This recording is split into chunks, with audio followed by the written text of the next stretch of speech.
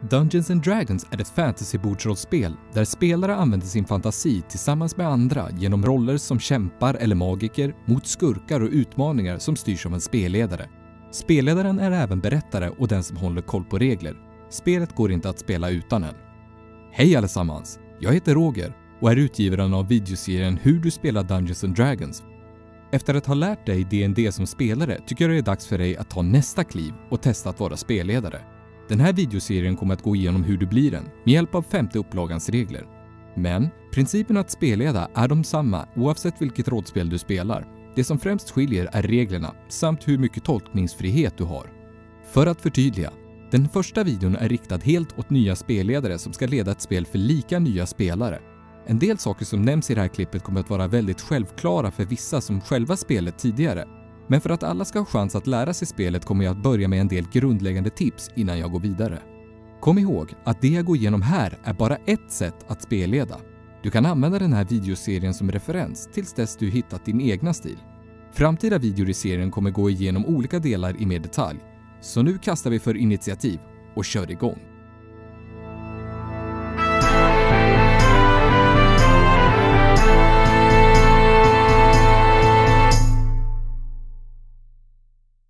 Hur mycket spelregler behöver du kunna? Det är väl känt att spelledare bör kunna spelreglerna för det spel han eller hon spelleder. Färdighetskontroller och regler kring strid är ett måste. Trollformler och hur äventyr fungerar är bra att kunna. Att ha koll på din spelares första klassnivå, speciellt deras egenskaper, är också väldigt händigt. Men du behöver inte kunna allt. Om du glömmer en regel kan du alltid läsa på. Låt samtidigt inte en enda regel hindra spelet. Om att läsa om en regel kommer ta längre än fem minuter under ett spel bör du istället hitta på något utifrån bästa omdöme. Håll igång spelet. Såvida reglerna inte orsakar en karaktärs död eller gör att spelarna får stora nackdelar kan du fixa dem vid början av nästa session. Att spelleda är mera en konst än att bara följa reglerna blint. Du är inte en dator, så förvänta dig att du kommer göra misstag. Till och med jag gör misstag efter år av spelledande och jag har tolkat vissa regler fel i månader, ibland år, tills mina spelare har rättat mig. Så ta det lugnt. Ingen är perfekt. Du kan alltid förbättras. Börja med en förskriven kampanj. Innan du börjar med att skapa ditt egna äventyr rekommenderar jag varmt att du prövar några kortare färdigt skrivna moduler. Du kan till exempel köpa startkittet och spela första kapitlet i Gruvan i Fandelver-kampanjen som kommer med det. Men du bör få veta att Gruvan i Fandelver och andra kampanjböcker är egentligen ganska utmanande och strider i dem är sällan balanserade för ditt spelsällskap. Kampanjer kan aldrig förutse hur många spelare ni är till att börja med. Och om dina spelare slåss mot varje fiende i varje rum i den här kampanjens åla kommer de att dö halvvägs genom den. Så det är upp till dig att justera sammandrabbningarna. Det är möjligt att göra det varsamt, till exempel med gott om tillfällen för kort och lång vila. Om dina spelare älskar att slåss genom grottor och tycker om utmanande strider, så bra. Men kom ihåg att det kommer ta lång tid att föra berättelsen framåt i så fall. Poängen här är att du kan använda förskrivna äventyrsmoduler som grundstommen till dina egna äventyr. Du behöver inte använda allt. Ta bara de delarna du gillar. Om du kör officiella spel från Adventures League finns det vissa regler som måste följas. Men med andra äventyrsmoduler är du fri att göra vad som helst för att underhålla dina spelare. Som exempel kommer jag använda den här korta modulen du kan ladda ner gratis. Länk till den finns nere i beskrivningen. Den liknar officiella äventyrsmoduler, men innehåller kartor för utskrift och spelbrickor som passar de förstorade versionerna av kartorna, så att du kan använda dem om du inte vill använda miniatyrfigurer. När du börjar rekommenderar jag att du använder spelbrickor som dessa, eller bara karaktärers namn skrivna på papper för att visa var spelarna befinner sig. Det spelar ingen roll om kartan är i rätt storlek. Att ha något visuellt framför sig och spelarna kommer underlätta för alla, istället för att ni ska komma ihåg var respektive karaktär befinner sig.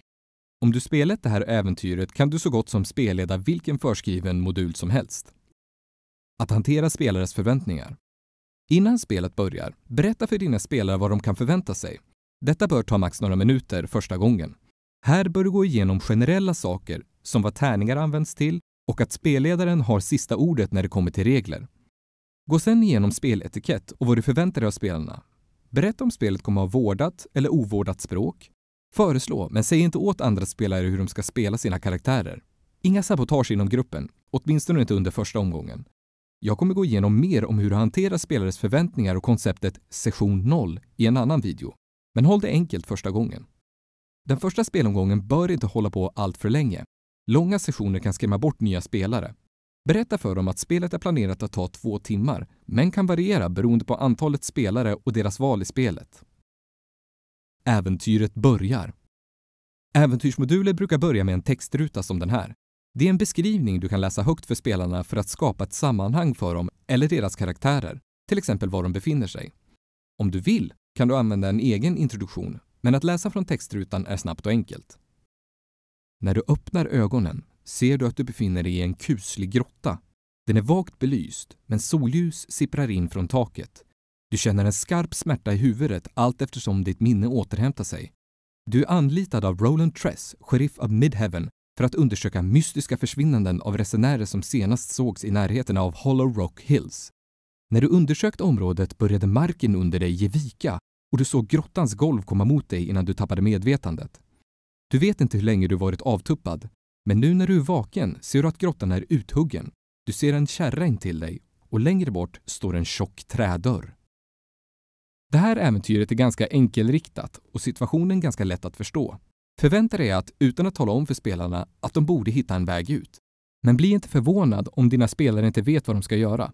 Det är okej okay att förklara och vägleda dem lite, tills de är redo att klara sig själva. Nu är ett jättebra tillfälle att be dina spelare introducera sina karaktärer.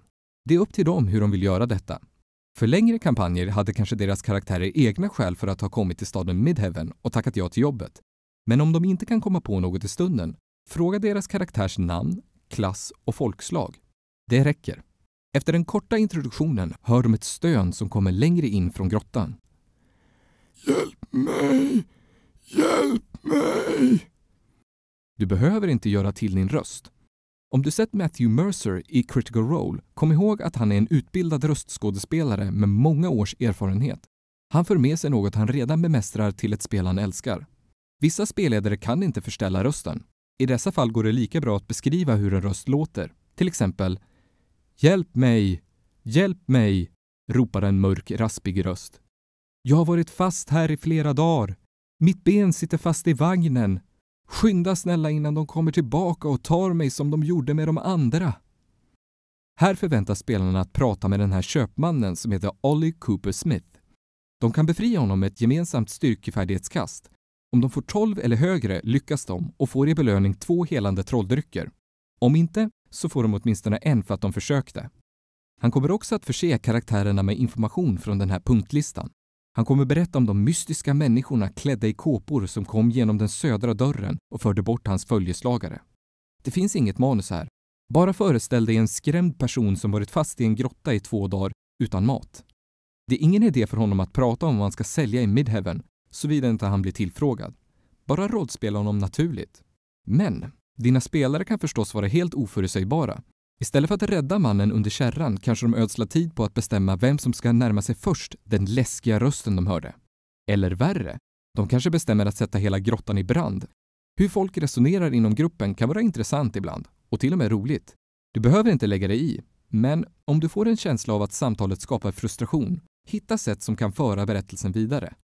Äventyrsmodulen förväntar sig att gruppen räddar köpmannen samt tar sig vidare genom dörren och upptäcka kultmedlemmarna i nästa rum men i det här fallet diskuterar de och kan inte bestämma vad de ska göra.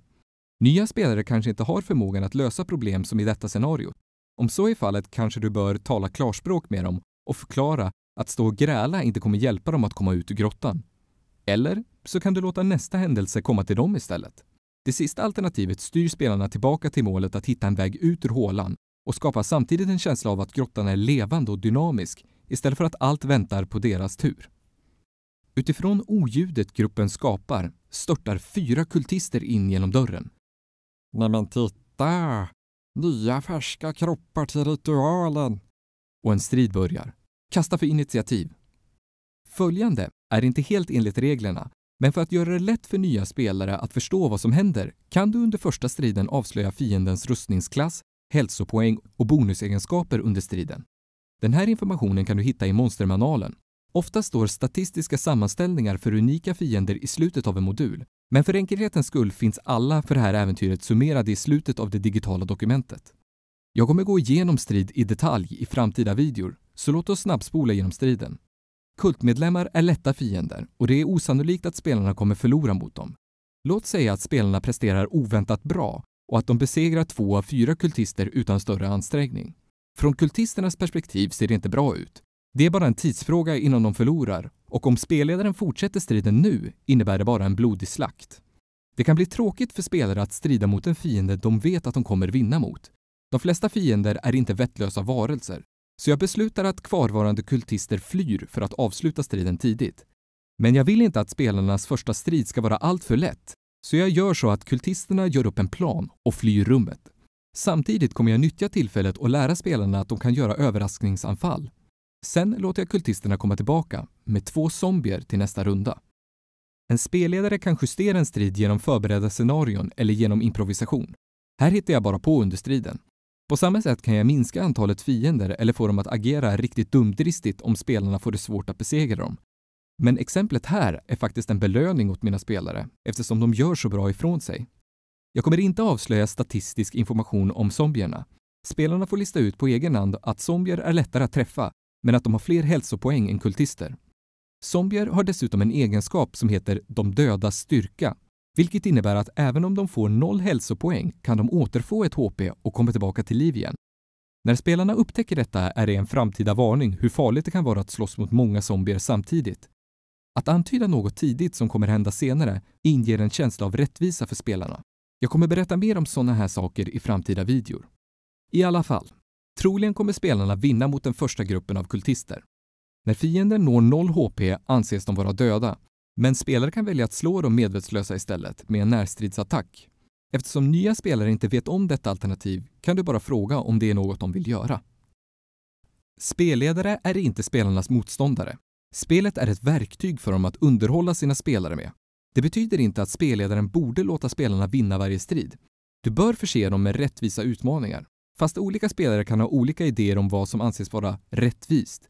Mina erfarenheter har visat gång på gång att spelare oftast är sina egna värsta fiender. Det är troligt att spelarna dödar alla kultisterna för de tänker att de inte förhandlar med ondska och går således miste om information de kunde fått genom att förhöra dem. Efter att ha gått igenom två dörrar befinner sig spelarna i ett vaktrum som kultmedlemmarna använt. Det går att utforska området, till exempel den här kistan med lappen “Rör ej” fastklistrad på ovansidan. Det är en fälla. Det anses rättvist att aktivera fällan om någon rör vid den utan några ledtrådar eftersom den verkar skum. Sällskapet kan ta en kort vila här för att återfå en del HP. Det finns ingen självklar plats för kort vila i grottan, så du kan avgöra vad som verkar logiskt. Rummet intill är bossens tillhåll. Det är osannolikt att gruppen kan genomföra någon vila i närheten av denna ledare som är igång med att skapa zombier. De kommer troligen bli upptäckta om de dröjer kvar här, men var inte för ivrig som spelledare att bestämma åt dem. Personligen skulle jag låta varje spelare göra en smygkontroll med en svårighetsgrad på 20 för att se om de kan vara tysta under vilan. Det är högst osannolikt, men inte omöjligt. Om de lyckas, låt det bara ske, samtidigt som du låtsas som du varit klumpig. Kort vila i spelet tar minst en timme, men inte i verkligheten. Så fort spelarna räknat klart hur mycket hälsa de återfått är det dags att fortsätta äventyret. Vilan kan ta fem sekunder i verkligheten, eller tre minuter. Det spelar ingen roll. Samma sak sker vid lång vila. Många personer har frågat mig om detta, så jag bara förtydligar om den saken här. Efter vilan beslutar spelarna att konfrontera kultistledaren, så jag läser högt från textrutan. I centrum av detta grottlika rum, mellan ett stenaltare och en sprucken staty av ett demoniskt väsen, kan ni se en skröplig man i en mantel med guldtrådar, omgiven av två vaktande vättar. På altaret ligger ett dissekerat kadaver som han bokstavligt talat proppar full med grönt lysande slem. När han får syn på er lyfter han sitt finger och Innan jag hann avsluta läsandet bestämde trollkarlen att kasta en eldvigg mot ledaren. Det är upp till dig i det här läget om du vill belöna din spelares agerande och låta gruppen utföra ett överraskningsanfall. Här bör du balansera spelares ageranden mot dramatiska förberedelser. I det här fallet är jag generös, så jag låter spelarna genomföra attacken. Men jag kommer inte berätta om information de kunde ha lärt sig från fiendens monolog på grund av att de avbröt honom. Jag vill också skapa ett etiskt dilemma här för spelarna, så jag kommer låta kultledaren erbjuda sällskapet att de kan gå sin väg så länge de bara gör det utan att ställa till med bråk. Han trycker ner en spak och öppnar en utgång vid södra delen av grottan. De kan gå nu. Allt de behöver göra är att lämna köpmannen åt sitt öde. Troligen kommer han sluta som zombie. Detta bör skapa lite dramatik inom gruppen. Men om dina spelare är som några hjärtlösa skitstövlar jag känner och väljer att lämna stället utan någon eftertanke kommer de bli överraskade. Så fort de är på väg att lämna grottan stänger kultledaren utgången plötsligt och drar i en annan spak för att aktivera en spikfälla. Efter det bör du berätta för dina spelare att det är möjligt att avgöra om en NPC ljuger genom att använda färdigheten inblick. Kasta initiativ för en ny strid. Ofta brukar moduler förse spelledaren med någon form av grundläggande strategi fienden har, men känn dig fri att improvisera. Kultledaren kommer att använda sitt agerande varje runda genom att vifta sin gröna dödskalletalisman i luften och beordra sina speciella zombietjänare att röra och göra saker åt honom. Han kommer bara gå till attack personligen om han förlorar kontroll över talismanen eller om alla zombier är besegrade. Det finns sex zombier, två vättar och kultledaren. Dina spelare är i underläge nu, för det finns fler fiender än dem, så de kommer behöva slåss smart för att lyckas med den här striden. Det finns olika sätt att ta sig ur det här. Ett vanligt sätt är att rusa fram till bossen och göra slut på honom, men det finns många hinder mellan ledaren och spelarna. Om de är kreativa nog kan de komma på egna idéer som till exempel att skjuta sönder talismanen, slänga ett rep om statyn och dra den över kultledaren så att han krossas av tyngden, eller skjuta på spaken på avstånd så att den öppnar utgången och gruppen kan fly den vägen. Om du ser att spelarna får det svårt, ge dem några ledtrådar. Som spelledare är du inte skyldig att döda dem. Där jag spelar anses det som dåligt att döda nya spelares karaktärer, såvida det inte är nödvändigt för att föra berättelsen vidare. Men det är acceptabelt om spelarna gör något helt dumt, som att till exempel hoppa ned i en flod av lava. En del spelare kommer göra bara det för att se vad som händer, eller för att göra spelledaren upprörd. Det kan vara ett sorts underhållning för vissa spelare att driva med dig. Nej, jag kommer inte... Låt säga att spelarna klarade sig genom att fly. Även om de inte vann striden så innebär det inte nödvändigtvis att spelet är slut. För D&D är inte ett tv-spel. Spelet börjar inte om bara för att de inte besegrade fienden. Berättelsen fortsätter. Faktum är att gruppen kan tycka att de vann eftersom de lyckades överleva situationen mot så pass dåliga odds. Välj att summera slutet på ett logiskt sätt och så kan du påbörja nästa äventyr. Men känn dig fri att få spelarna känna skuld för att de glömde bort köpmannen Olli och lämnade honom kvar i grottan för att bli föremål till nästa ritual. Att inte utforska hela grottan är väldigt vanligt. Ibland används mindre än hälften av allt skrivet material. Jag lägger också till saker bara för att göra dem mer intressant för mina spelare så följ inte texten slaviskt. Innan jag avslutar videon, kom ihåg att det inte finns något bästa sätt att spelleda. Vissa spelledare är bättre på vissa stilar, men det skadar inte att känna till andra eftersom det bästa spelet dina spelare kommer få uppleva är det du kör utifrån vad de föredrar. Jag kommer gå igenom mer teoretiska delar av att spelleda efter att jag har gått igenom de praktiska bitarna först. Nästa avsnitt i serien kommer handla om monster och NPCs. Om du tyckte den här videon var användbar, ge den tummen upp det kommer hjälpa andra spelledare att upptäcka den. Om du inte prenumererat än på kanalen, gör gärna det så blir du informerad när nästa klipp släpps. Roger över, Roger ut.